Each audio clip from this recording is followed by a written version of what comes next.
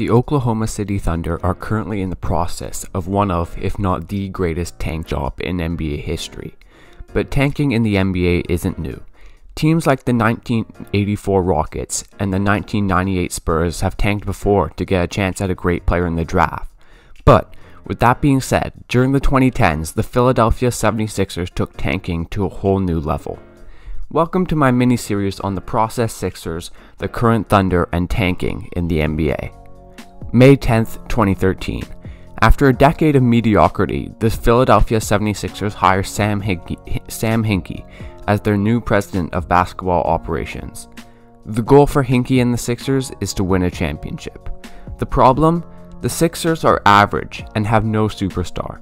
The Sixers are coming off a season where they had finished with a 34 and 48 record. Their best player is Jrue Holiday, who averaged 18 points and 8 assists. A good player, but probably not a future superstar. The rest of the roster is pretty mediocre. There are a couple of young guys like Thad Young and Evan Turner, some vet, vets like Jason Richardson, but no super no future superstar. Now, I keep mentioning that the Sixers didn't have a future superstar, and here's why. As I said, Hinkie's goal was to win a championship. And in the NBA, to win a championship, you almost need one or two superstars. In the NBA, there are three ways to acquire any player or a superstar player. The first is in free agency. For this, you need three things a superstar's contract to be up, cap space, or the ability to create cap space, and crucially, the superstar needs to want to play for you. Given the fact that, that Philly isn't a major, a major free agent destination, and that superstars usually don't want to join average teams, this option seemed difficult and out of the Sixers' control. The second way to acquire a player is via trade. This is certainly a viable option for any NBA team looking to acquire role players or round out the roster, but is much harder for superstars. Teams are, will, are rarely willing to trade a superstar, and if they do, the package in, mis- in return must be of equivalent or near equivalent value. Assets the Sixers just didn't have or couldn't give up while staying while still putting a competent team around their recently acquired player. That leaves the third and final way, through the NBA draft. This is a good way to acquire talent, but most superstars are picked at or near the top of the draft. You need to be a bad team to get a top pick. Finally, if you get the number one pick, the draft class needs to have a player with superstar potential.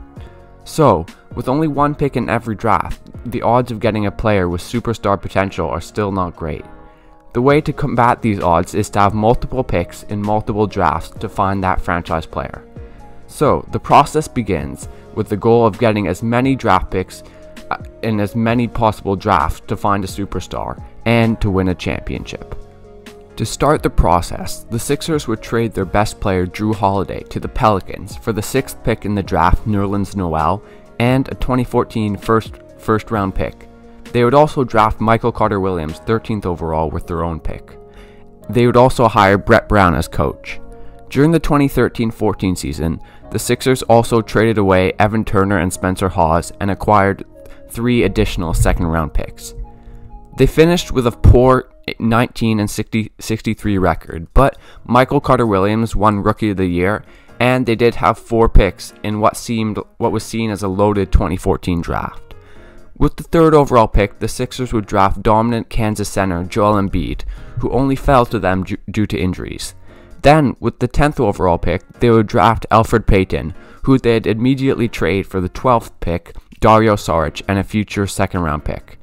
Saric, who would stay in Europe until the 2016-17 season, maybe a smart, smart move given the Sixers' ambition to keep tanking. In the second round, the Sixers picked KJ McDaniels at 32 and Jeremy Grant at 38. The Sixers committed to the process by further by trading Thaddeus Young to the Timberwolves for a Cavs 2016 first round pick. By the 2014-15 season, the process was in full force. The Sixers played 25 guys, and Embiid wasn't even one of them, as he was out for the whole season with an injury. One one positive of playing so many guys and Hinkie's advanced analytics is that you find diamonds in the roughs. In the 2014-15 season, the Sixers uncovered 3 and D wing Robert Covington, who shot 37% from 3 and averaged 13.5 points per game. Also during the season, the Sixers decided to trade reigning Rookie of the Year Michael Carter Williams, as they decided he was more empty stats than future superstar. They traded him, traded him to the Bucks for a future Lakers pick. The Sixers finished the season with an 18 and 63 record. Yet again, the Sixers ended up with the third overall pick. With that pick, they selected Jahlil Okafor. He was recognized as the consensus best player available with his ability to score in the low post, but the fit was questioned, was questioned as the Sixers had already drafted Nerlens Noel and Joel Embiid in the past two drafts, both centers. The Sixers would also select Richaun Holmes and Willy Hernangomez in the second round. The Sixers would also engage in a multiplayer trade with the Kings, where they would receive a 2018 first round pick. The 2015 16 season is probably peak process. Rookie Jahlil Okafor averaged 17.5 points and 17 rebounds, but got into two street fights in Boston. The Sixers started the season 0 and 18. Brett Brown would get their coach would get an extension despite the team being 1 and 22. The Sixers would finish the season with a record of 10 and 72, and Sam Hinkie was forced to resign. The Sixers would receive the number 1 overall pick in the 2016 NBA draft and would take 6'10 athletic playmaker Ben Simmons, a hype prospect and someone's, someone with clear superstar potential. Unfortunately, he got injured and didn't play a single game in the 2016 17 season. The Sixers also selected Timothy Luwawu-Cabarrot and Furkan Korkmaz later in the first round. The Sixers also traded Jeremy Grant to the Oklahoma City Thunder for a 2020 first round pick. At the trade deadline, the Sixers would trade Nerlens Noel to the Mavericks for a conditional first round pick. Also in the 2016 17 season, Dario Saric and Joel Embiid made their debuts, with Embiid impressing in his 31 games played, averaging 20 points, 18 rebounds, and 2.5 blocks in only 25 minutes a game, and almost winning Rookie of the Year despite the number of games played. The Sixers would finish with a 28 and 54 record and received the third overall pick in the NBA draft. The Sixers would then trade the third overall pick in the 2017 NBA draft and a future first round pick to the Celtics in exchange for the first overall pick in the 2017 draft. With their second number one overall pick in a row, the Sixers would select Markelle Fultz out of Washington, an athletic 6'4 guard with the presumed ability to dribble, pass, and shoot. The Sixers would also sign JJ Redick in free agency, an excellent shooter and fit around their roster. The 2017 18 season brought success for the Sixers. Simmons and Embiid were mostly healthy and excelled. Embiid averaging 23 and 11 was named an All-Star, and Simmons averaging 16, 8 and 8 as he controversially won Rookie of the Year over Donovan Mitchell. The Sixers also put a great lineup around them. The Simmons, Redick, Covington, Sarge, and Embiid starting lineup had a great mix of shooting and defense and was very good. The Sixers won 52 games and were the third seed in the East. On the negative side, though, number one overall pick Markelle Fultz was a disaster. He played only 14 games, had multiple injuries, and forgot how to shoot a basketball. The situation is still unclear, complicated, and hard to explain. Back to the Sixers. In the first round of the playoffs, they would beat the Miami Heat in five games. In the second round, the Sixers would lose to the Celtics in five games, though. A disappointing loss given the fact that the Celtics were missing both Kyrie Irving and Gordon Hayward, and because Jayson Tatum, the man the Celtics had selected with the third overall pick, Philly traded them, averaged 23 points a game in the series. With that being said, the 2017 18 season was a great year for the Sixers, especially after many years of tanking. In the 2018 draft, the Sixers would select Mikal Bridges with the 10th overall pick before trading him to the Suns for Zhaire Smith and a 2021 Miami first round pick. The Sixers would also select sharpshooter Landry Shamet with the 26th overall pick. The Sixers would enter the 2018 19 season with a similar roster to the last season, but higher expectations. And 13 games into the season, they would add to those ex- expectations by trading Robert Covington and Dario Saric, two starters, and a second round pick for disgruntled superstar Jimmy Butler, who was on an expiring contract. making the Sixers one of the favorites in an Eastern Conference that contained the Bucks, Raptors, and Celtics as competition. Then, at the trade deadline, the Sixers would make two more major moves. First of all, they would trade Wilson Chandler, Mike Muscala, and rookie Landry Shamet, who had impressed so far, two first round picks and two second round picks for borderline all star forward Tobias Harris, Boban Marjanovic, and Mike Scott, giving the Sixers a new starting lineup of Simmons, Redick, Butler, Harris, and Embiid, and confirming their ambition to win now. They would also trade Markelle Fultz, who continued to struggle with injuries, and his and trade him to the Orlando Magic for a first and second round pick. The trade would end the Markelle Fultz saga, but also bring us to a time in the process where the Sixers will, that the Sixers will look back on with regret. To have the number 3 overall pick, trade up, and not even end up with a useful player has gotta hurt. The Sixers would finish the season with a 51 31 record, and were the 3 seed in the East. In the first round, they would play a young Brooklyn Nets team. After losing game 1 without Embiid, the Sixers would prove that they were the better team by winning the next 4 games, to step to go to the second round where they had faced the Toronto Raptors. The Sixers would be able to split the first two games in Toronto with two excellent Kawhi Leonard performances. Then the Sixers would beat the Raptors in Game 3 at home, giving them home court and a chance to go up 3 1. In Game 4, the Raptors would claw back as Kawhi scored 39 points, grabbed 14 rebounds, and hit multiple tough shots down the stretch. Then the Raptors would blow the Sixers out at home in Game 5. The Sixers would respond by winning Game 6 and setting up a Game 7. Game 7 was a tight defensive battle. The game was very close down the stretch. 85 85 was less than 2 minutes left. From there, Kawhi would hit a very long two, and Lowry would come up with the steal, uh, putting the Raptors up by two. Then the Sixers would respond with a sec- succession of trips to the free throw line before Jimmy Butler would get a layup in transition off a missed free throw from Kawhi, tying the game at 90 and giving the Raptors the ball with 4.2 seconds left on the clock. I think we all know what happens next. If you're Philly. It's off to Leonard, defended by Simmons. Is this the dagger?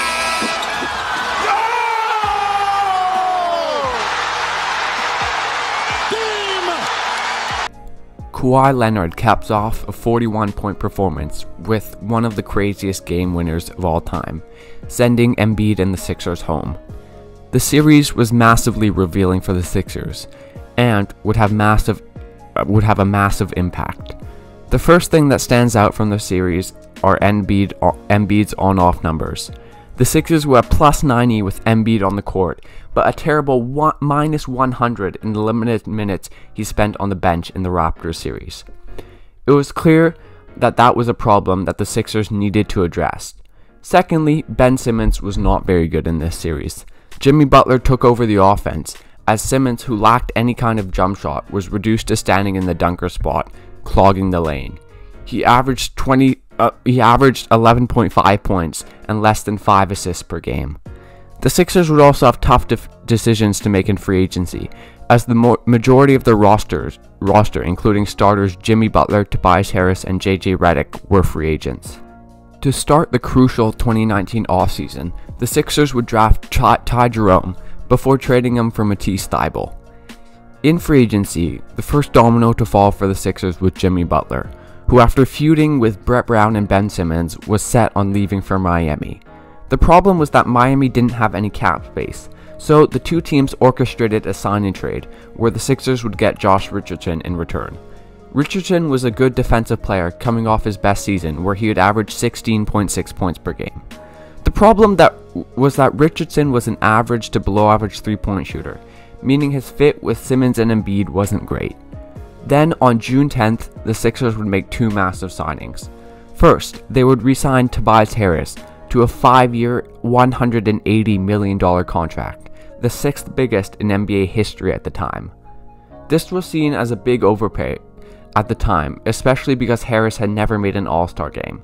But after losing Jimmy Butler, the Sixers couldn't afford to lose Harris. The second move may have been even more of an overpay, as the Sixers signed 33 year old Al Horford to a four year, $109 million contract. The reasoning for the Sixers was that Horford could play center when Embiid wasn't playing, and that he could play power forward alongside Embiid.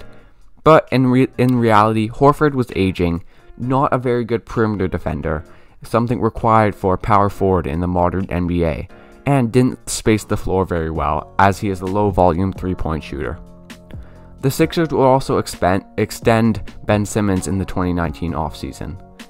Despite a questionable offseason, the Sixers still entered the 2019 20 season with high hopes.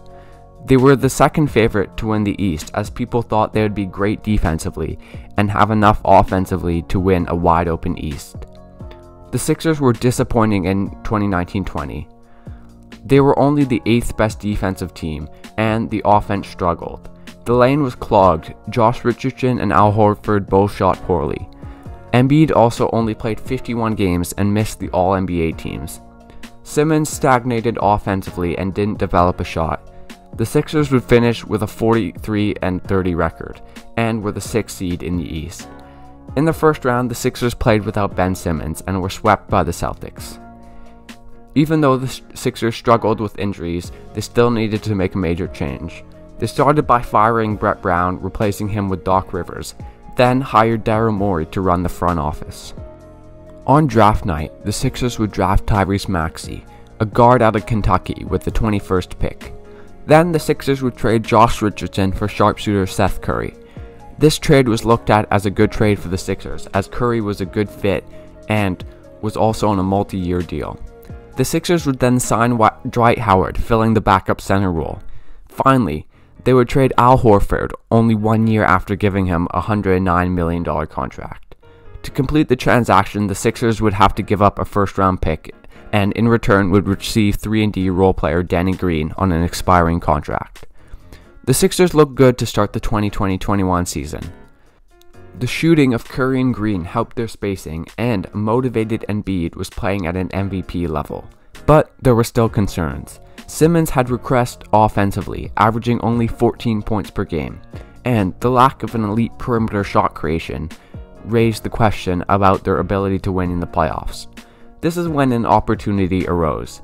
James Harden, one of the league's best players and an incredible scorer, was unhappy and wanted to be traded the Sixers seemed like the perfect candidate. Daryl Morey was previously the Rockets GM and had already traded for Harden. Harden would fit well with Embiid and the rest of the roster and was precisely the player they needed. And the Sixers had, an, had the assets with a franchise player in Ben Simmons and young players and picks.